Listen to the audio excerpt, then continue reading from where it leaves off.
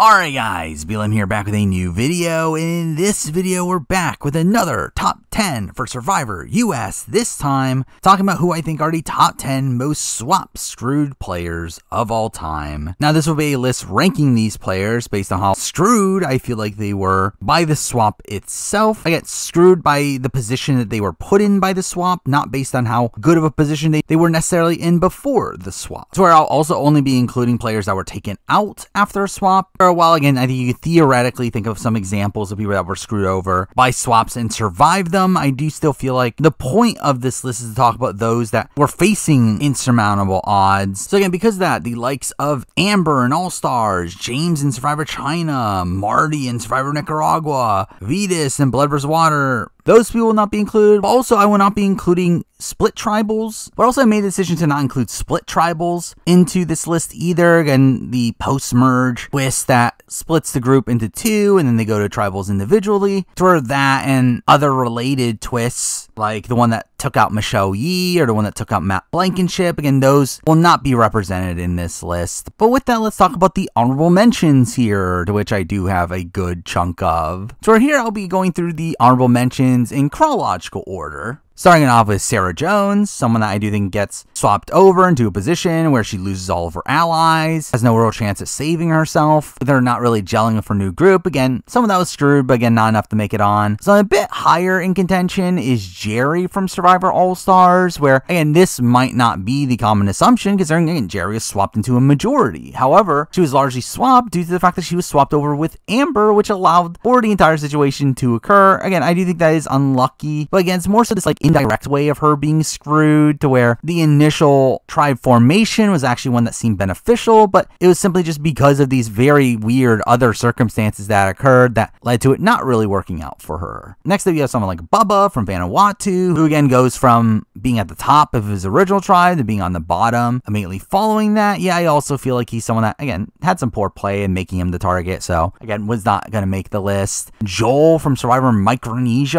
that was also in consideration, but another one I think had some pretty poor play throughout the game where while I do think he gets pretty unfortunate in the position that he is in, I think the domineering nature of his game is something that put this massive bullseye on him anyway. Jackie from Gabon is a major example here, one that I did think was going to make the list when I originally created it. However, I did think this situation was a bit too simple in her simply being swapped from a majority into a minority away from all of her allies. Again, it's bad. It's obviously her still being screwed, but it's not really this really excessive situation that really the top 10 are all in, where again, it just was not enough to make the very top of the list. Then you got someone like a Matt Bischoff in Survivor Caramoan, which again follows the stereotypical trend of someone that was in a majority alliance gets swapped into a minority. However, this is more so even more standard situation of this of him being swapped into a minority simply because his tribe was down in numbers to where again obviously he got a bad swap but again not enough to be at the top of this list alexis maxwell is someone to mention here again someone that gets swapped away from all of her allies is the easy person out when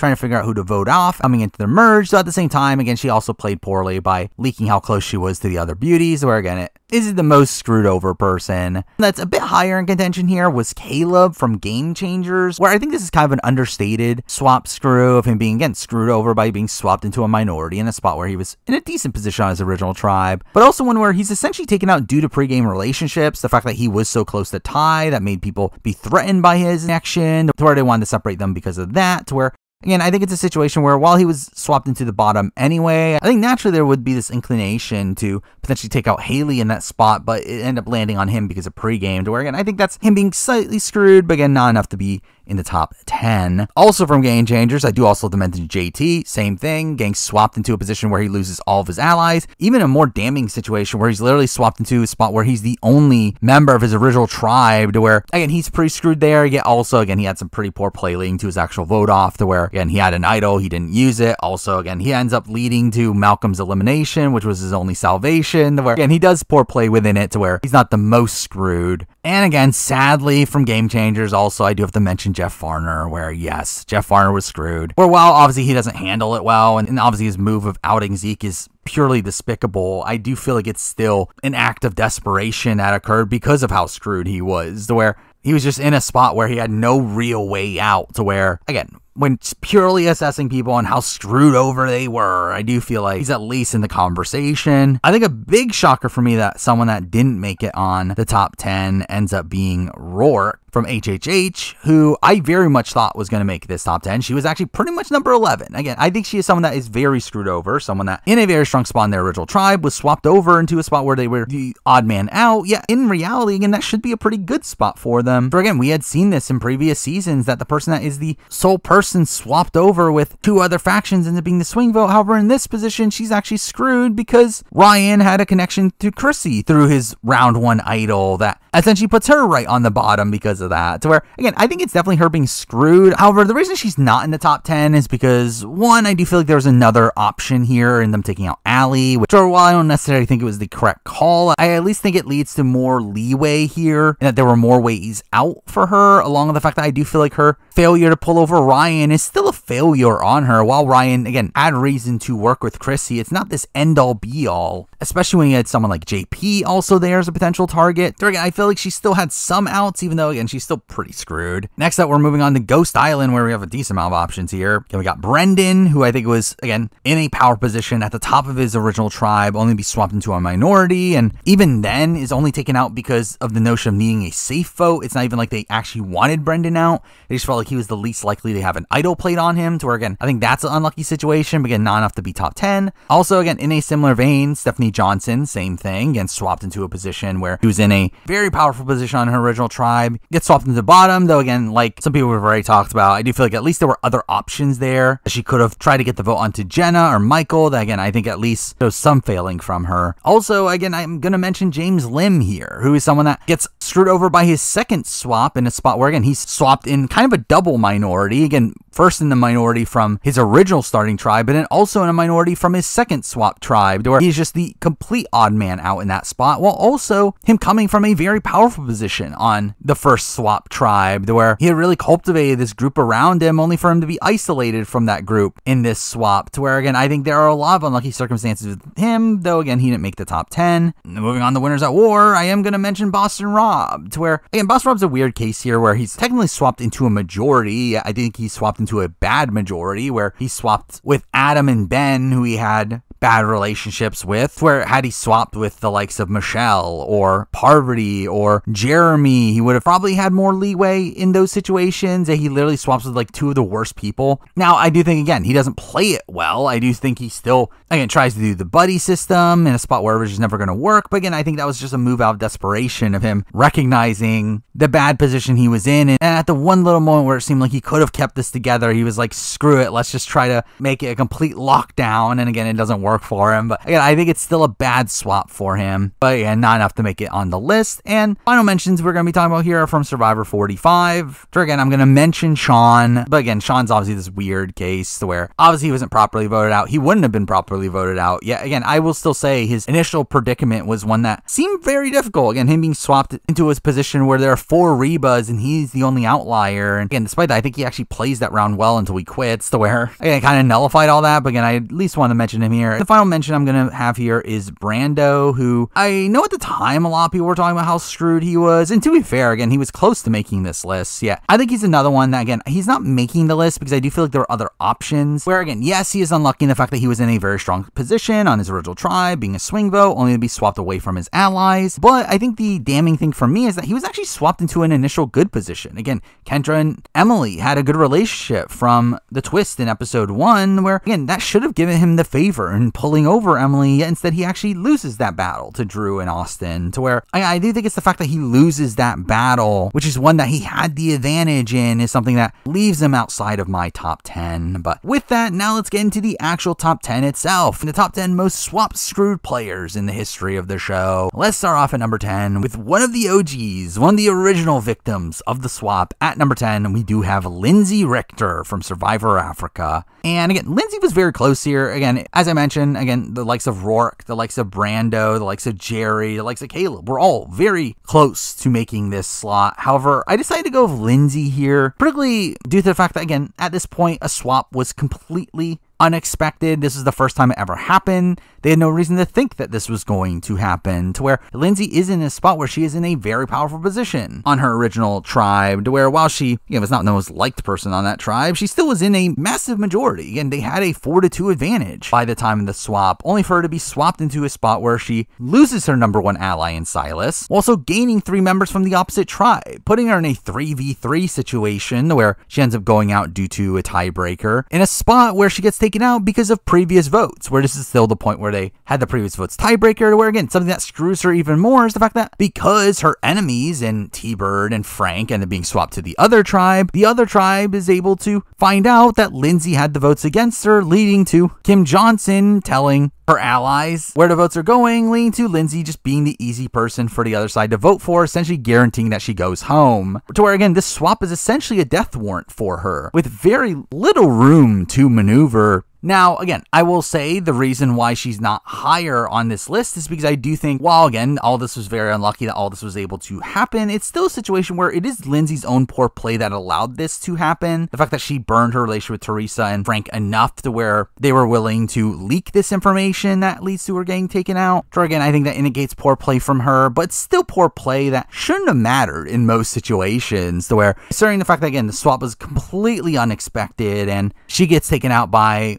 the entire previous votes tiebreaker. Again, it's enough for me to put Lindsey here, number 10. Now, number 9, we're moving on to a very weird case of someone getting swap screwed, one that I've talked about in the past as being a very interesting situation. One that I'm sure there'll probably be some people upset the fact that I'm even considering this being a person that's swap screwed. But at number 9, I do have Rick Devens from Survivor Edge of Extinction. And again, Rick Devens on Edge of Extinction is in a very interesting spot in the fact that he was essentially swap screwed by being swapped with the exact same people, where Tribe Swap led to them having the exact same configuration, but actually worse in the fact that they lose their buffer in Wendy, where again, in the original Manu tribe, there were six people left, five of them in an alliance, where while David and Rick were on the bottom of that alliance, they at least had Wendy in the game as a buffer for them. Yet the swap plays out in a way that they lose Wendy and just end up being on the outright bottom of their group, which again, you can say is poor play because obviously they had the chance to flip the vote at the Chris vote and actively chose to not do so. Where again, obviously they had the opportunity to turn things around, but again, the reason why they don't do that and they do vote out Chris is because they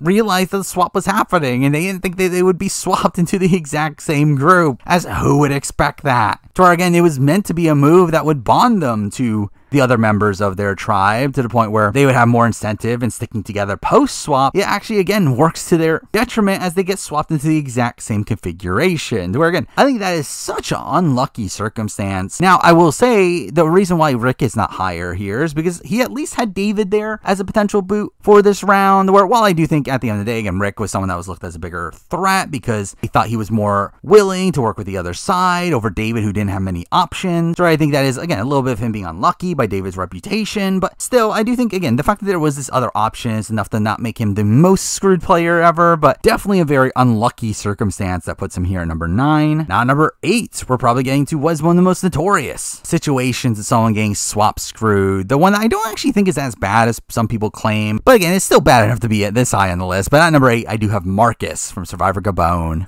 And Marcus is a weird case here in the fact that, obviously, yes, he gets a very unfortunate swap. He gets a swap where most of his main allies are on the other side. So, again, that is very unlucky. And mixing that the fact that, again, this was a swap after they had thought that they were merged, and, and that, again, leads to him throwing away an idol that he could have utilized to save himself here. Again, all that is very bad. But again, essentially, had the game won, had the swap gone another way, had he been able to survive this round and keep his numbers for falling round, he probably goes on to win the game. Trey, again, he gets a pretty unfortunate swap to where he has three people directly against him in Kenny and Crystal, all while Susie is in the middle. Though I think that brings to the, again, the bigger flaw of all this and the fact that I do think he does mishandle Susie. Again, he does have a connection to Susie through the previous tribe swap and doesn't really end, and isn't able to utilize that to his benefit. Along with that, I also think he gets kind of fortunate in the fact that he actually had an outside of the game connection to Crystal that I think he could have utilized to keep him in the game, yet fails at doing so. To where, again, I think there are things to point out here. Again, Marcus again could have done better at or had opportunities that I think again in some of the top top cases these people just simply don't have those things. Where you know while I do think he gets very screwed in the sense that he gets sniped out of the game in a position where this was pretty much one of the only ways he could go out. I do still again think there is some poor play within that that makes him not higher on this list, which is the reason why Marcus is here at number eight. Now number seven, moving on to someone that through this person being on the list, it kind of spoils a certain other person on the list, though that one should have been very apparent. Where this is kind of just the same thing as that person, but a bit lesser. But at 15, we do have Sherea from Survivor China. And again, Sherea is someone that doesn't get talked that much about as being someone that is swap screwed. You usually see their counterpart as someone that is commonly talked about. However, again, like Sherea also gets very screwed. I mean, the entire notion of how this swap occurs is just so ripe for swap screwing. Obviously, it's a situation where you are handpicked by the opposing tribe for you to join them, which is essentially giving you a death sentence, essentially picking you for you to be fodder if they ever go to tribal. Now, again, it's another one of these situations where at least there was Frosty there. Again, she had another out potentially if she had been able to save herself over Frosty, but still, I mean, definitely a very unfortunate circumstance, especially when you add in all the like wonkiness that was going on and the fact that James is trying to throw the challenge, oh, all the opposite side, all the other Zhan Hus had this plan to throw the challenge that they don't end up going through with, which to be fair, part of that is because of Sherea's own poor play and not communicating well with them. Though to be fair, that also would put a bigger bullseye on her back. But again, I think it's still a very unfortunate circumstance. It's one where again she's handpicked by the opposing tribe to be fodder in the case they ever lose a challenge. Her while she had an out and taking out Frosty, again, it's still a situation where she's pretty screwed here. Where again, that's enough for her to be here number seven. Now number six, again, we have her counterpart. We have Aaron from Survivor China, who again is commonly talked about as one of the most swap screwed players. And again, he is for sure. Again, he is handpicked by the other side to be a target here. In a spot where he was in a pretty dominant position on the original Fei Long tribe, some of that could have potentially run a good chunk of the game had this not occurred. However, I do think there are a couple points here that, again, keep him out of the top five here. Particularly the fact that, again, one, he had James there, obviously as his backup, against someone that he could have taken out instead of him, but also part of the reason why he does go home here is due to his own poor play, where he was being a bit cagey and made himself come off as the bigger threat, as opposed to James, where again, James was the initial target, only from the swap that because of Aaron's own poor play, which again, enough to keep him out of the top five, though I will say in comparison to Sherea, I think his is worse in the fact that he gets swapped for his own tribe immediately decides to throw the challenge to take him out, which obviously just further shows how screwed he was. And the fact that he was picked as this dead man walking and wasn't given any chance of saving himself through the challenge. So, where, again, I think Aaron is definitely very, very screwed. I think there are these minor redeeming aspects here that keep him out of the top five for me. Now, number five, we're moving back to a player from a season that we've already talked about. And again, just simply talking about this person as a player that got screwed over by Swap, not them as a person. At number five, we do have Silas from Survivor Africa. And obviously, Silas was the first ever victim to the tribe swap, someone that was the first ever person that was swap screwed. And I think it's kind of understated how screwed he actually was here. Again, he's in this spot where he is swapped with his enemies. Again, literally swapped both T-Bird and Frank to where, again, while there is poor play and obviously him burning them to begin with, the fact that he is swapped solely with them to the opposing tribe is very unlucky there. Again, with this also being the first swap, again, that was not really a foreseen thing that could even happen. But to make matters worse, the tribe then proceeds to throw the challenge to take him out. So again, I think that's what for me makes him worse than Aaron. Again, while Aaron again also had the tribe throwing the challenge to take him out, Aaron again at least had James as his backup. Silas has no backup here. Again, he has no other real option. Once they throw the challenge, again, both T-Bird and Frank instantly flip, and there's no one on his side that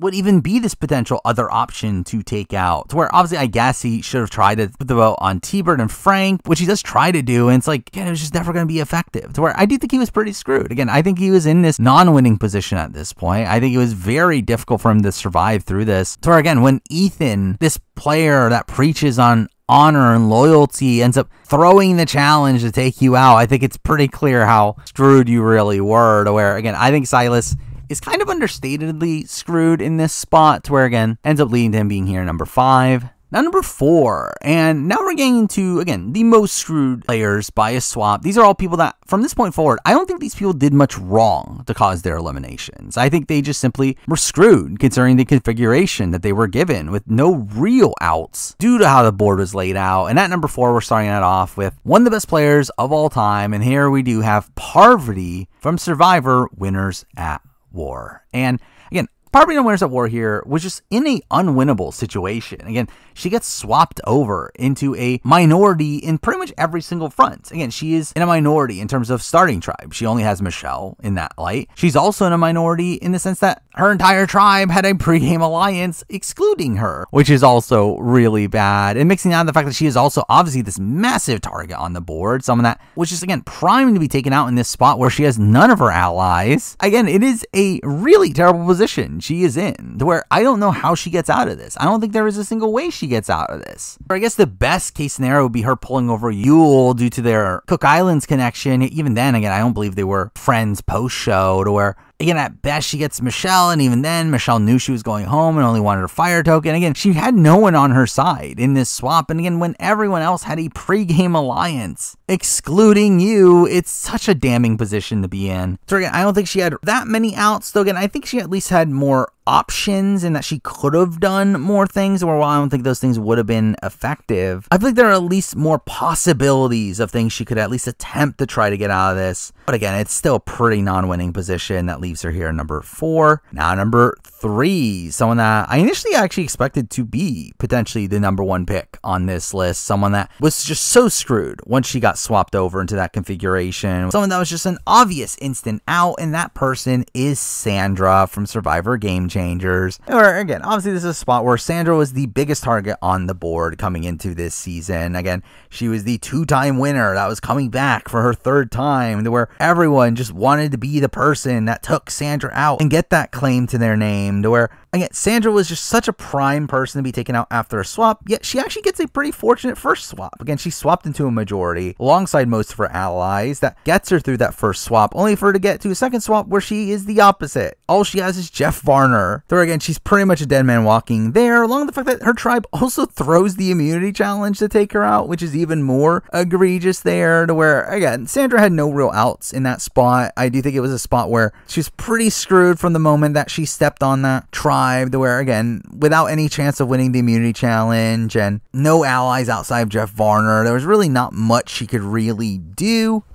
Considering her out of the game reputation. Yet, I will say the reason why she's not higher on this list is because I do feel like the other two situations are actually even more obscure situations, situations that are just so unlikely to happen. To where I think they get more screwed by how random the swap ends up being. While I feel like for Sandra, again, while this was a very bad swap, this is really how most swaps occur. Again, I think she actually got a very fortunate swap to begin with. And her first swap to where that didn't happen right away. To where, while it is again a very unfortunate swap, I feel like most swap configurations for her on Game Changers lead to this. I feel like with the next two people we'll be talking about, they just got very, very unfortunate how the swap plays out at all. I mean, that's the reason why Sandra's not number one here, even though, again, I think Sandra's potentially the most screwed over by the time that the swap configurations were solidified. I do feel like Sandra gets swapped into this style of position more so than the next two people, which is enough to put her here number three. Now, number two, again, the number two most swap screwed player of all time ends up being a legend of the game, but before they were one, and that is Kelly Wentworth from Survivor San Juan del Sur. And again, I think Kelly is understatedly one of the most swap screwed players of all time on this season. Where again, this is just a very surreal situation to be in. It's one where she is on a blood versus water season with her dad, her dad who is a pretty bad player and a really bad social player in particular. Where again, she goes from being one of the top people in the Hunapu power structure, again, actually being Jeremy's loyal number one ally at that point in the game, even over Natalie, to being swapped without any of her allies.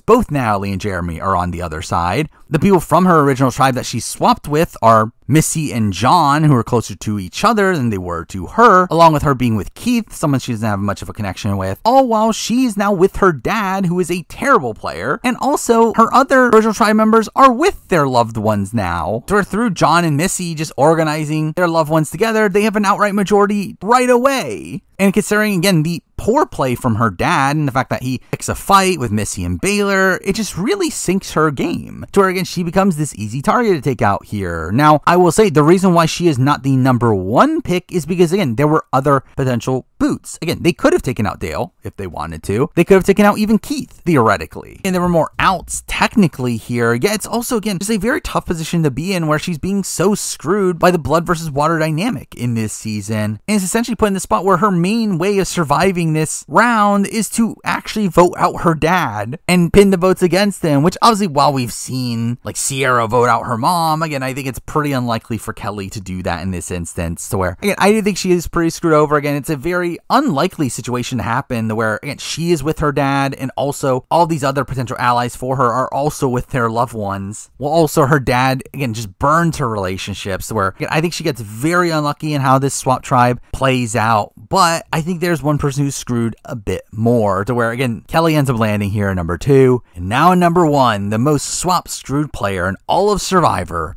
is someone that I'm not endorsing this person as a person. Again, this is purely them being swapped, screwed in the game of Survivor. At number one, I do have Anna Khait from Survivor Kaôh Rōng. And I, again, I think how screwed over Anna Khait was on Kaôh Rōng kind of gets forgotten about over time, especially considering the fact that obviously people don't like Anna Khait nowadays, and, and rightly so. But she essentially gets swapped into the worst possible situation she could possibly be in. So again, she was in the dominant position on her original beauty tribe. She was in the center of everything, at the top of the power structure, only to get swapped in a position where she is now in an outright minority. Again, a spot where there are three brains, two beauties, one brawn, meaning that the three brains are obviously just going to target one of the beauties. However, the beauties on her tribe are her and Tai. For through that, again, you can claim that, okay, Anna Khait, again, simply didn't bond enough with her tribe, and that's why she was targeted there, where Tai did better social work, which again, fair. But the other thing to take into account here is the fact that Julia was on Exile Island, meaning that Julia replaces whoever they vote out, which, in the case that they vote out Scott Pollard or Tai, again, someone other than Anna Khait, meaning in the instance where they vote out someone other than Anna, that means that they're now giving Anna another ally in a spot where, again, had they vote out Scott Pollard, which also would have been a potential option in the sense that he's the odd man out, if they they do that, they're essentially giving the beauties 3v3 in the following round. And even if they vote out someone like Tai, again, it's giving Anna this very solid ally for a following round. And again, straight up, it ends up being a 3v3 the following round anyway. But obviously, it's not the optimal move to be keeping around Anna in a spot where if you keep her around, she's going to be given her number one ally in the game to where everyone knew that was her number one ally in the game it essentially makes her a dead man walking. It puts her in this spot where she is just so obviously the target in this spot where she's just in this outright minority with no real chance to save herself. To where again, there's not really any logic in not voting out Anna Khait in this spot where it feels like their hands are essentially forced into voting her out because of the fact that Julia is being taken in. And considering that fact, again, there's not really much of a way for her to get out of this. Where again, there's no way that the brains don't vote for her. It makes no logical sense for them to not do so. So where again, the other option would be for her to cause a tie by getting Scott and Tai on board. But again, why would they do that when they're just going to get a tie the following round anyway? Where again, the only other option at that point is Tai's idol. To which again, I guess you can criticize her for not having Tai play his idol on her. But again, why would Tai waste his idol on her when it's not even that integral in keeping her in? As again, worst comes to worst, they just vote out Julia next and Ty gets to merge with his idol. So again, I just think Anna Khait was just so screwed in this instance. So again, the fact that Julia in particular is a person on exile and she is put in this outright minority in a spot where people didn't want to reunite her and Julia, again, it just puts her in this unwinnable situation here. I don't think there is a proper way out of this outside of her being able to convince people to do something that is so against their best interests to where again, in comparison to Kelly, I think there were more options for Kelly. I think Kelly could have potentially saved herself by throwing her dad under a bus. Even though that wasn't that likely she was going to do it, but again, it would have been a pretty easy way for her to survive there even before that, again, we have the likes of Sandra and Party, who again got unfortunate swaps, but again, were massive targets on the board. Where again, I think the situation that they got swapped into was just a pretty likely situation. Again, every other player beyond that has this like saving grace that they could have potentially had, despite how unlikely it is. Where again, I think Anna Khait again is this person who there is no real out here. He is essentially doomed on this try with the notion that Julia is coming back into the game, which in itself is very unlucky. That it's Julia in particular that is that person. To where, to where again, think Anna Khait is the most screwed over player by a swap in Survivor history, to where because of that for me, Anna Khait is here at number one. Well, that, there we go. I mean, that is my top 10 most swap screwed players in Survivor history. I'm moving forward, obviously, I'll continue to do Survivor videos like this. Somehow still have a billion ideas that we'll eventually get to, but for now, that's the video. Thank you for watching.